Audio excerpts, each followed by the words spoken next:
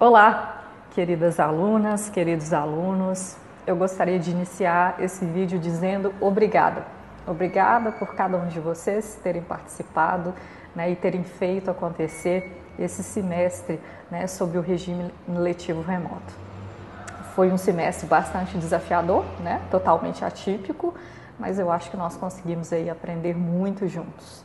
É, agradeço a cada um de vocês por ter contribuído com a sua história de vida, por ter contribuído com sugestões, com dicas, uh, com provocações também, né? E eu posso afirmar com certeza que hoje eu sou uma pessoa melhor devido a tudo isso, devido a todas essas experiências, a todas essas trocas né, que nós tivemos juntos. Às vezes eu me sentia solitária com aquela tela preta, né?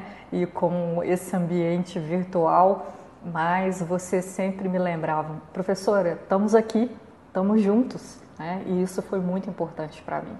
Recebi várias mensagens carinhosas, é, e-mails perguntando simplesmente como você está, professora? Está tudo bem? Né? E eu agradeço muito vocês é, que tem dado um novo significado para minha vida a cada dia. Né? Muito obrigada, estou muito feliz né, em ser professora. Eu acho que todas essas experiências até renovaram é, esse gosto, né? E eu agradeço a cada uma de vocês, a cada um de vocês. Espero vê-las, vê-los no próximo semestre. Um grande abraço. Até mais.